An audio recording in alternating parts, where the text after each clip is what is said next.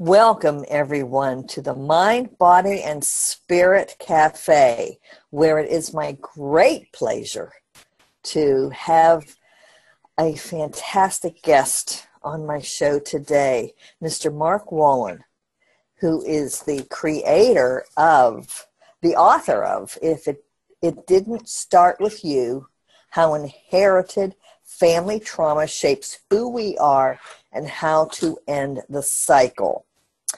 Mark is a leading expert in inherited family trauma. As the director of the Family Constellation Institute in San Francisco, he trains clinicians and treats people struggling with depression, anxiety, panic disorder, obsessive thoughts, self injury, chronic pain, and persistent symptoms and conditions. He's most definitely a sought after lecturer. He leads workshops at hospitals, clinics, conferences, and teaching centers around the world. He has taught at the University of Pittsburgh, Western Psychiatric Institute, Krippula. I hope I'm pronouncing that correctly, Mark. Krippula. Krippala. The Omega Institute, the New York Open Center, and the California Institute of Integral Studies. His articles have appeared in Psychology Today, Mind Body Green, MariaShriver.com, Elephant Journal, and Psych Central, and his poetry has been published in The New Yorker.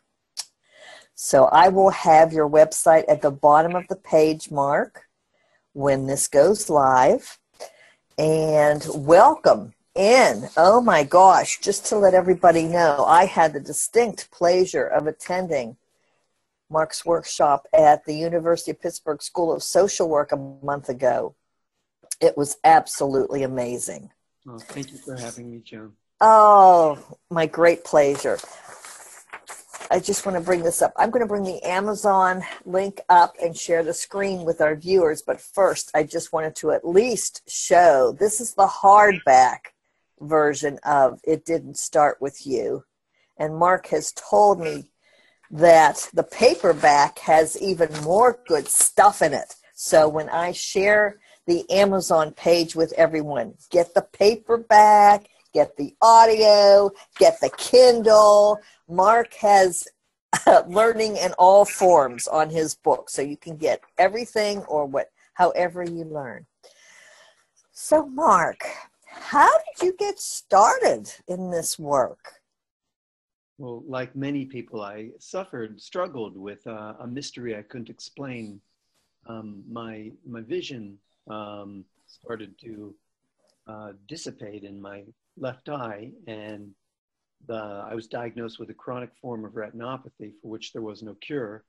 And the doctors told me I was going to lose the vision in both eyes, and um, I, I couldn't see. This, this was my lead eye, and faces are now a blur and road signs are a blur. Um, so I, everything I tried, uh, juice fasts, hands-on healing, supplements, everything seemed to make it worse. So I didn't know where to turn. Um, and I ended up going on a search, a search that led me halfway around the globe, literally as far as Indonesia, to learn um, from some very wise spiritual teachers some fundamental principles, uh, one of which was the importance of healing our relationship with our parents. Um, for me, that was going to be difficult because my relationship was terribly broken, uh, but I heeded the advice um, of these teachers and I ended up um, healing with my parents. But in order to heal with them, I had to heal what sat in between. Though I didn't know it at the time, it was inherited family trauma. Um, specifically, the fact that all my grandparents were orphaned in some way. In fact, three of them lost their mothers when they were babies or toddlers. And then the fourth, she lost her dad when she was one, but ultimately, of course, she loses her mother too because her mother's grieving. So, this pattern of being broken from a mother's love, this is what passed down in my family. And this was what rippled in my body the terror of abandonment, the terror of being left. I remember um, being about five or six years old. Whenever my mom would leave the house, running into her bedroom, pulling open her drawers and crying into her scarves and her nightgowns, feeling, I remember it vividly, that all I would have left would be her scent, which would be true for all my grandparents who were orphans. That's all they did have left. I shared this with my mom about 40 years later. I said, Yeah, mom, I used to cry into your clothes when you'd leave the house. And she said, Oh, honey, I did the same thing when my mother would leave the house. And my sister, reading the book, said, You did that too. You cried into mom's clothes. And I realized that it was a generational behavior. And many of us, like my eye, struggle with something we just can't explain a, an anxiety that strikes suddenly, a fear, um, or a depression we can't get to the bottom of. And these are what I'm finding out often residues of trauma that we have biologically inherited mm. from our parents and our grandparents and perhaps even our great grandparents. Um, wow. I think what many people don't understand is when someone comes in to see me and they say, How did this happen to me? Did I inherit this? And I say, Well, biologically, you may have inherited a predisposition, but now that I have met you, and I've had, I've been a participant in family constellations myself, and I've actually had one done, which was absolutely remarkable. So now I'm starting to take, I take your genogram system and I'm saying, well, let's look back and see what happened in your ancestral patterns. Something may pop up. Since your workshop, I'm learning to listen better. I'm learning to listen to the words that come up. Because, especially with young people today, uh, the millennials, the stories don't seem to be handed down as easily from one generation to another. So young people today really they may have a sense of it, but they don't know where it, the problem came from, where the root cause came from. So your book and your system is so invaluable to all therapists that work with family systems. This, your book should be an integral course in every marriage and family therapy program across the world because I don't know. It just won the Nautilus Award for psychology. Okay, there you go. Okay, people. All directors of counseling and psychology programs that are watching this podcast, there you go. Let's get with the program here, literally. Okay. Mark, so this is a segue in how can trauma be passed on yeah. from a parent to a child? So let's say our grandparents experienced a trauma. Um, this would change them biologically, physiologically. Specifically, a trauma causes a, um, a chemical change in the DNA. And this can ch- change the way our genes express, sometimes for generations. Um, specifically, there's a, a chemical tag or an epigenetic tag that attaches to the DNA and it tells the cell, oh, because of this thing that happened, we need this type of support. So it tells the cell to use or ignore a specific gene that will create a benefit, that will create an adaptation. And then the way the genes are affected change, this changes how we act or feel.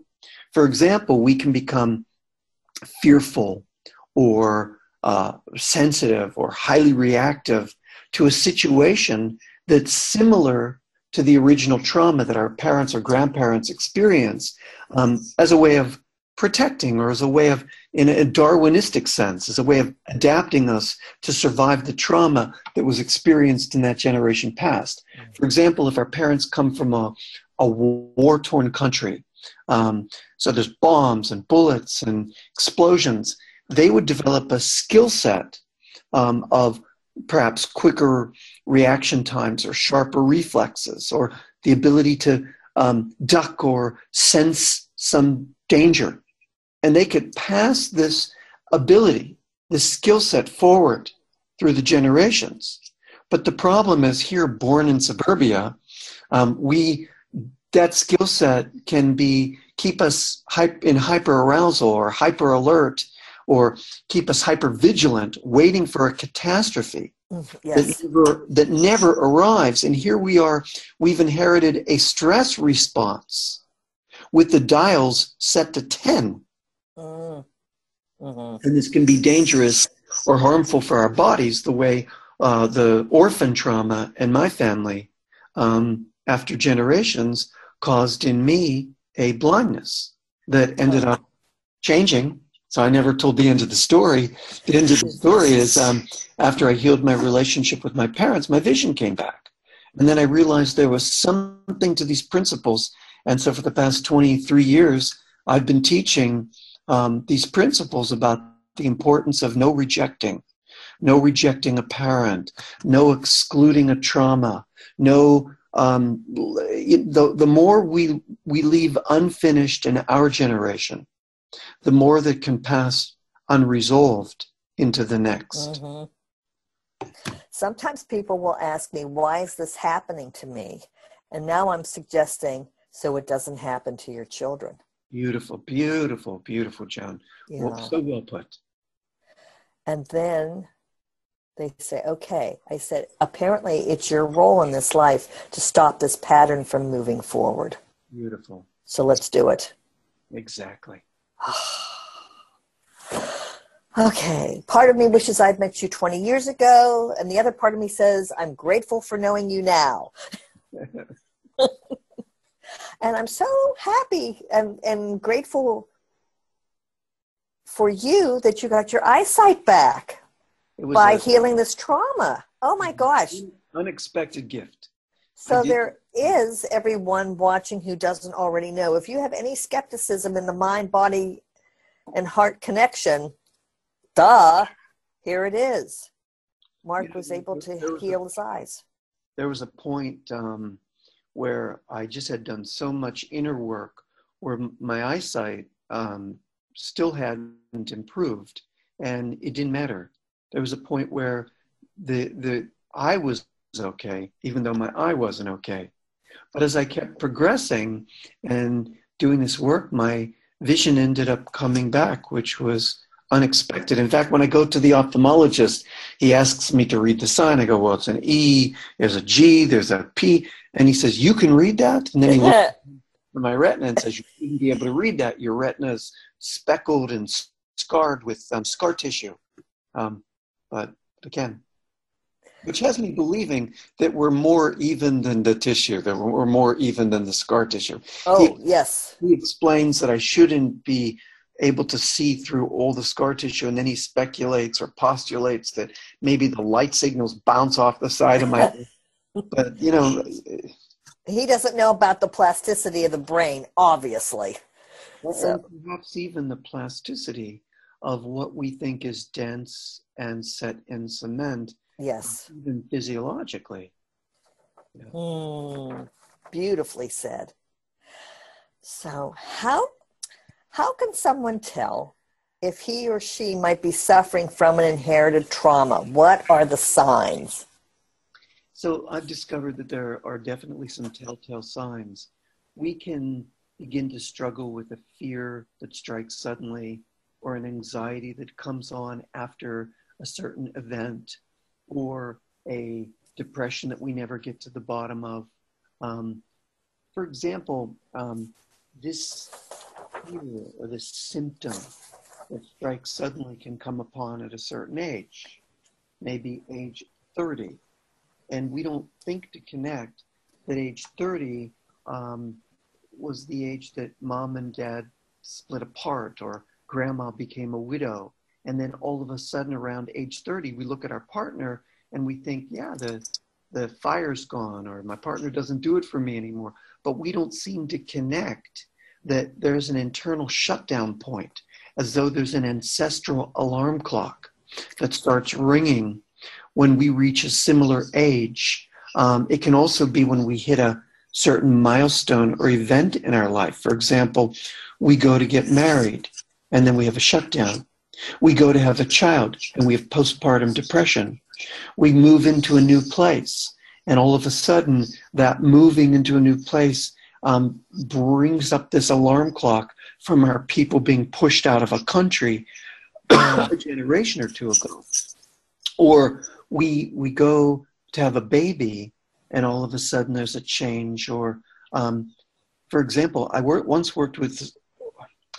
I had one more example. Um, or we leave home for the first time, um, or uh, we get rejected by. That's the one I wanted. We get rejected by a partner, and all of a sudden it brings up that earlier abandonment during the in utero experience or mm. an attachment issue. I once worked with this woman who she didn't have any any anxiety until she went to have a baby. She became pregnant, and now she was consumed with anxiety, um, but she didn't understand what the anxiety was about. She came to me, said, "I have terrible anxiety." I said, why? She goes, I don't know. You know, it was just this complex of anxiety. When we began to unpack it, we found that the anxiety began as soon as she became pregnant. And if you look deeply at the language of this anxiety, you heard her say, I'm terrified that I'll harm my child. Now we've got what I call core language, mm-hmm. drama language, mm-hmm. and I ask my questions that you know I outline in the book, and one of those questions was, uh, "What did anyone in the family have cause to feel the same way? Did any other, in other words, did anyone in the baby in the family harm her baby?" And she said she began to say no, and then she said, "Oh my goodness!" And a story came to mind and she started to remember a story she heard only once that they weren't allowed to talk about about grandma who when she was a young woman she had a, a, a newborn and she lit a candle and it caught the curtains on fire caught the house on fire and she couldn't get her baby out of the house and the baby died mm-hmm. and here she was reliving aspects oh. of her grandmother's trauma and as though it was her feeling, had inherited her grandmother's experience. With your work, now I'm able to listen with a new ear. My training in obsessive compulsive disorder takes me in a different direction if a woman comes in and says, I'm pregnant and I'm afraid I will harm my baby. In the past, I've taken this as an obsessional fear. Now that I'm learning from you, I'm going in a whole different direction. You have the perfect training.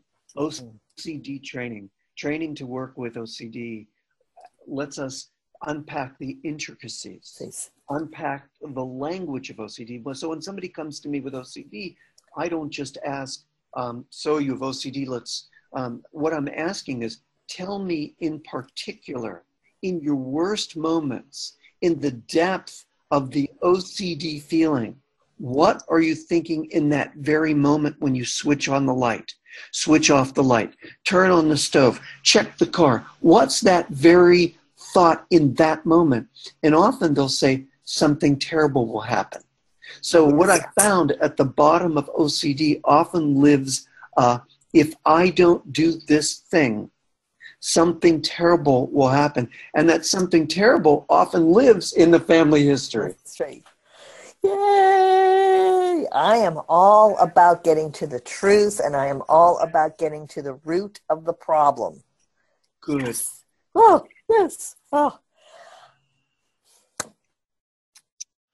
How how can we break the cycle of inherited family trauma? So the, the first thing that we need to uncover is our trauma language, this very thing that we're talking about. Okay. And if we can listen for this language that we all carry, it's in our fears, it's in our descriptions of our uh, relationships, it's, it's all over the descriptions of our boss, our job, our parents, our partner, our worst fear. Um, so I lead people in the book through all, all these types of questions that get us down to unpack this language. Once we have this language, it's like finding the missing piece of the puzzle. And once that puzzle piece gets put into place, it's it's almost like we can now see the whole picture and have a context for explaining why we feel the way we feel. So we've made the link. Now that we've made the link, we've got to break the cycle. And the way we break the cycle is by having a new experience that's potent enough, powerful enough to be able to change the brain. This can be an experience of comfort or support or gratitude or compassion or loving kindness or generosity. Basically, anything that brings us or allows us to have peace and strength inside. Now, we have to practice the new feelings and the new sensations of this new experience. And when we do this, we're literally pulling traction away from the trauma brain, mm. pulling traction away from the midbrain, the uh, uh, uh, uh amygdala driven limbic brain. We're not just pulling traction, we're pulling glucose, oxygen, um, circulation, blood flow from the um, thick uh, midbrain, and we're bringing it to the areas of the brain where we can integrate and then have neuroplastic change, specifically the prefrontal cortex. Um, so the idea is to um, have a new experience and then practice the sensations and the feelings of this new experience. Uh, in other words, repetition and focus, which we know um, from Norman Doidge's book, The Brain That Changes Itself. Repetition and focus is how we create new neural pathways. Well, it's not just neural pathways, right? If we're building these two structures that now are beginning to wire together, the dendrites of one moving into the dendrites of the other and forming a new neural structure, um, as Hebb in 1949 coined, what fires together eventually begins to wire together. But we're also creating uh, um, uh, neurotransmitter change and hormonal change. In other words, the neurotransmitters now can become stimulated and begin to fire in a different way. So we're, we're, we're now releasing um, uh, uh, uh, um, serotonin where there was none, dopamine where there was none. Um, hormones like oxytocin and estrogen are begin, beginning to stimulate. And even the genes themselves are beginning to um, change. In other words, the genes that cause the stress response are beginning to function in a new way. Biology can be changed without medication. Absolutely. I'm not against medication, but it's my last line of treatment, not my first line of treatment. Yes. Yes. Ah. medication is necessary. Yeah. You know, we need to create a situation where somebody has enough calm to begin to look in an introspective way. Right. Now, let's get to the book here. I mean, when I was reading some of the questions that I wanted to ask, how will readers benefit from reading your book? I was thinking, how could readers not benefit from reading your book? Oh, wow. But I'll let you explain to our viewers how they could benefit. So, so I wrote this book for those of us like myself who had struggled with conditions we couldn't explain, mysteries. Many of us are walking around with a mystery and, and we can't get can't get any insight because it's not in alliance with our it's not in the context of our life experience. So how can we know there might be information that's missing? For example you said earlier that the younger generation might not even know because the older generation keeps the doorway to the past sealed and the reason it's keeping the doorway to the past is there's this idea that if we don't talk about it, we immunize or insulate our kids from, they don't need to know this, but it's the opposite. We do need to know it. So yes. I teach readers how to become detectives yes. of their own trauma language. And, and I ask, as you know, 12 questions in one chapter and several questions in other chapters that have us distill this language down into trauma language, what I call core language, and then link this language to either events in utero or events in our early childhood or to events in the family history. Once we make the link to these events, and many people say, you know, I, I didn't know this information, but I went home and I asked my mom or I asked my cousin, and it was true. This information from my trauma language, from my fear, lives in my family. I often get this question Mhm. How do I know if my parents didn't tell me and they're Yes. deceased, or I'm adopted and I have no pathway, or my parents aren't talking? How do I know? And I always say, let's look at your trauma language. Okay. Let's look at your repeating behaviors. Let's look at the potholes that you continue to step in. Let's look at the choices you continue to make or not make. Yes. And that shows me, it gives us a very clear picture of to what's missing in the family history. History. Wow. And so I also wrote the book not just for people who um, didn't, you know, had mysteries that they lived with, but I wrote it for clinicians. For me, I threw the kitchen sink in here. And for me, this is a manual Right. for therapists of Right. how to learn the core language approach and then how to do a traumagram in the new way, meaning not just the traumograms that we all learned in social work school, but the traumograms that now bring in the victim, the perpetrator, the, the, the people um, who gained an advantage in our family history. Those we gained an advantage. Those people belong in our family history, in our traumagram now. And to then to make those links. And I wrote this book so we can also, uh, you know, have a, fields of medicine, fields of clinicians in, in trauma therapy can now have the tools to work with inherited family trauma. So it's not such a mystery. We as uh-huh. clinicians now know what to do. Read the book, it's in there. Really, thank God. And with that, I'm just going to share my screen for just a moment. Because, all right, everyone, this is Amazon. There it is in all its forms Kindle, hardcover, paperback, Audible. So Mark says, get the paperback, get it all. Hmm. Get your textbook for how to heal inherited family traumas. First, uh, you know, I'm going to leave you. I'm going to leave you with three insights. Um, first, you know, if we or one of our family members are struggling with something we can't get to the bottom of, you know, unexplained depression, anxiety, um, OCD, phobias, fears. Um, I always tell people it's important to shake the family tree and see what falls out. What, se- what secrets were never talked about? What stories never got told all the way? What traumas never healed? Um, secondly, it's important to talk about the traumas in our family history and try to work through them so we so we don't pass this forward to our children the more we heal our own stuff the more you know that's the best way to immunize people say well how do i protect my children? Work and heal. Work on and heal your own stuff.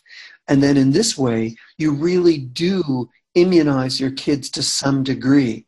Now you know the more, also the more we talk about these traumas the more we can bring relief to our children who are struggling with aspects of inherited family trauma and, don't know don't know they are. Um, i found that when we ignore the past it can come back to haunt us. But when we when we explore it we don't have to repeat it. And and thirdly i like to tell people do the practices in the book. I spend the whole i dedicate the whole last third of the book to teaching these new neuropla- these new neuroscience tools that create neuroplastic change. Um, how to have these new experiences and then how to practice these new experiences so that the sensations and the feelings become installed in our body so that we can change our brains. Brain. Wow. Mark, I'm going to have it at the bottom of the video, but your website is markwolynn.com. Uh, w Mark M A R K W O L Y N N dot com, and you know they can get the book there. They can go on Amazon. Um, but thank you so much for having me, Joan. Oh, this has been such an honor to talk with you. I continue to learn from you, Mark. Thank And you. may all of our clients continue to heal their family traumas. Wonderful. I thank you, sir, for your time. Have a wonderful day. And thank you, everybody who's watching this. This is so important. Please study Mark's work. No, thank you, Joan. Thank you, Mark.